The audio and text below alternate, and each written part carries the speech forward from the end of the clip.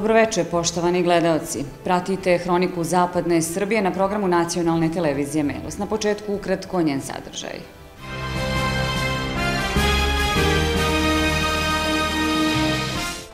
Naša Zlatka učestvovala na prvom festivalu sira i vina u Višegradu. Đaci iz Gonja na Pešteru školsku godinu počeli u objektu seoske ambulante. U Ivanjičkom naselju Lug napravljena deponija 2 metra od kontejnera. Javno komunalno preduzeće Pijaca Kraljevo narednog vikenda organizuje drugu po redu manifestaciju Sajem poljoprivrede.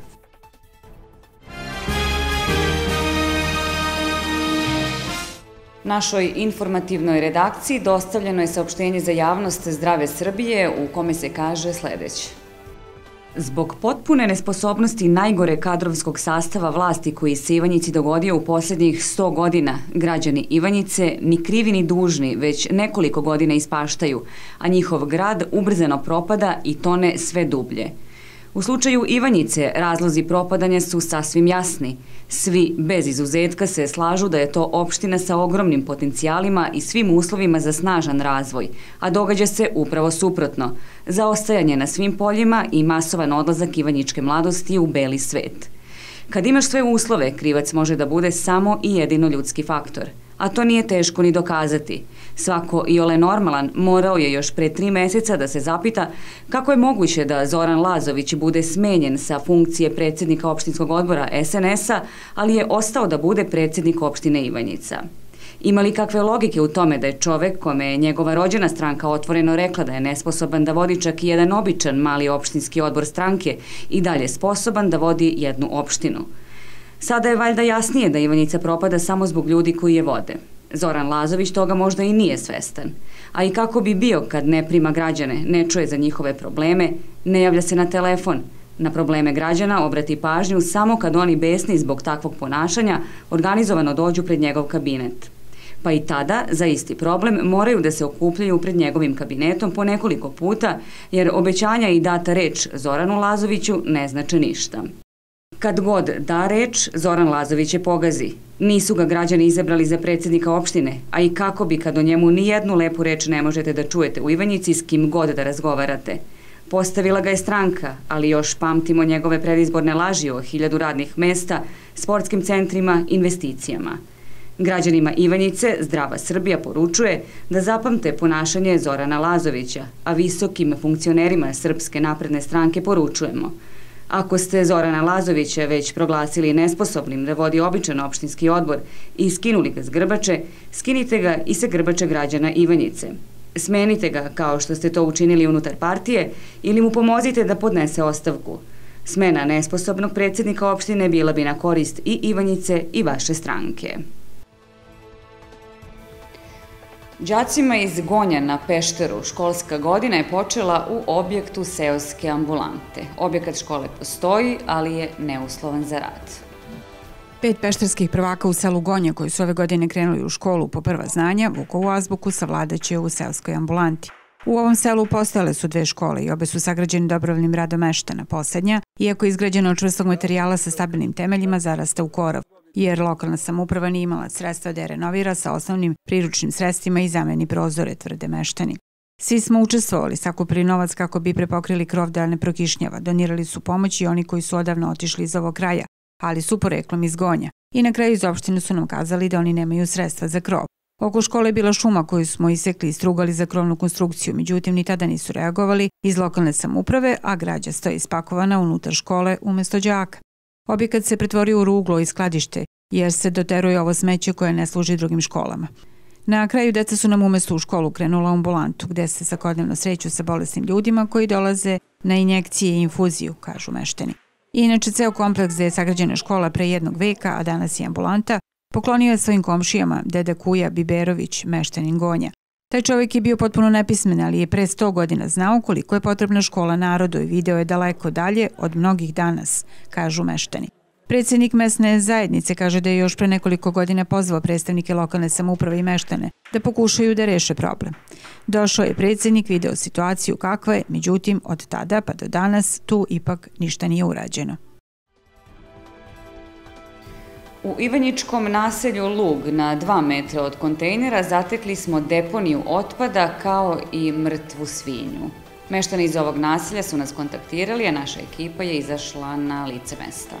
Prizor koji smo zatekli je blagorečeno zastrašujući. Pitamo se gde će nas odvesti nemarnosti sa bičluk pojedinaca koji su neodgovorni prvo prema sebi, a potom i prema životnoj sredini.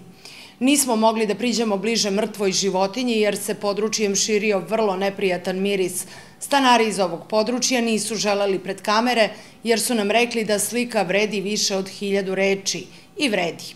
Na samo pitanje ko je odgovoran za ovakva dešavanja, meštani ovoga područja kažu da bi u ovim slučajevima nadležna inspekcija morala da preduzme određene korake.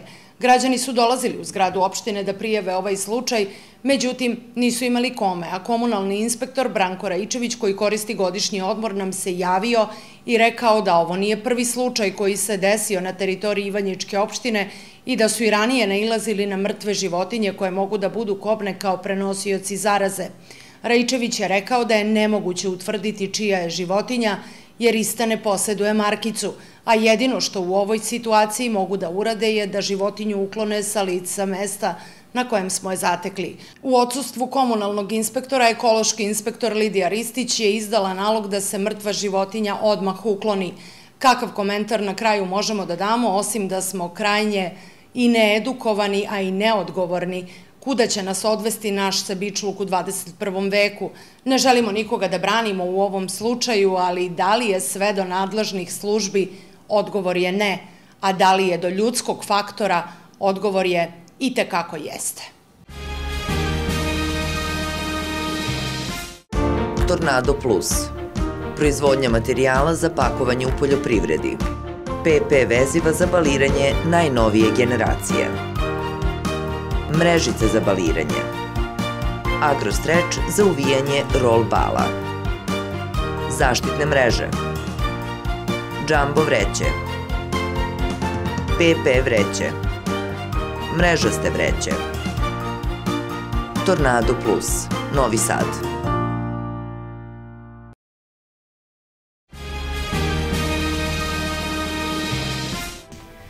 Javno komunalno preduzeće Pijace Kraljevo narednog vikenda organizuje drugu po redu manifestaciju Sajam poljoprivrede. Sajam će trajati od 13. do 15. septembra, a pored bogate sajamske ponude biće organizovana i brojna predavanja na temu novina u agraru. U Kraljevačkoj pijaci užurbano se vrše završne pripreme za organizaciju drugog sajma poljoprivrede. U hali i na Kvantaškoj pijaci više od 80 poljoprivrednih izlagača iz zemlje i inostranstva predstavit će svoju ponudu u trodnevnoj manifestaciji koja traje od 13. do 15. septembra. Iz iskustva od prošle godine očekujemo, očekujemo i ove godine da isto bude dobro posjećen sajam. E, očekujemo e, i više izlagača nego što je bilo prošle godine uz napomenu da je prošle godine bilo preko 70 izlagača i nekih inostranih, tako da ove godine očekujemo samo da bude, da kažem, bolje na tom polju. Učešće na sajmu potvrdile su brojne renomirane kuće iz oblasti zaštite bilja, zatim proizvođače semena, mesa i mesnih prerađevina, poljoprivredne mehanizacije i opreme, kao i domaćinstva koje se uspešno bave seoskim turizmom. Pored izlagača iz cele zemlje, organizatori očekuju i nekoliko izlagača iz Slovenije i Makedonije. Organizator sajma je javno komunalno preduzeće Pijaca uz pokroviteljstvo grada Kraljeva.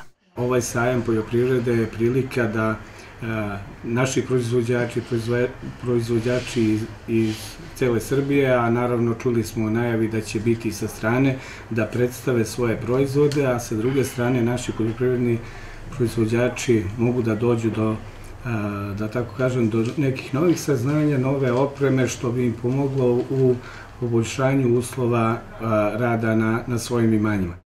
Ovo je prilika i za kraljevčane koji se bave poljoprivrednom proizvodnjom da nešto novo čuju i saznaju.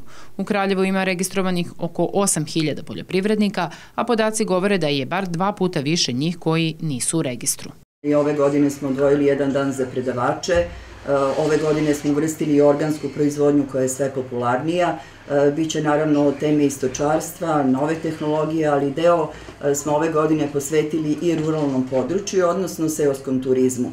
Kako učiniti da ta neka dodata poljoprivredna vrednost ima zaiste svoju cenu i na neki način, obzirom da je prošle godine stupio na, na snagu pravilnik, o tome da naši proizvođači na pragu mogu prodavati svoje poljoprivredne proizvode, verovatno će ta tema privući mnoge. Ovoga puta organizatori nisu izostavili ni dan za najmlađe, jer će u subotu biti izložba kućnih ljubimaca i sitnih životinja. Ove godine neće biti izložba krupnije stoke, jer je zabrana izlaganja zbog afričke kuge svinja, ali će biti jedna izložba konja. Sajam počinje 13. septembra u 10 časova, a ulaz za sve posetioci je besplatan.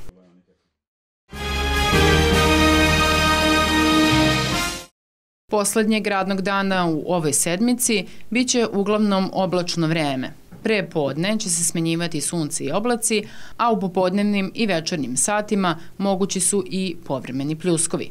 Temperatura u toku jutra 13, maksimalna 28 stepeni. Poštovani gledalci, bila je ovo kronika Zapadne Srbije na programu nacionalne televizije Melos. Hvala na pažnji.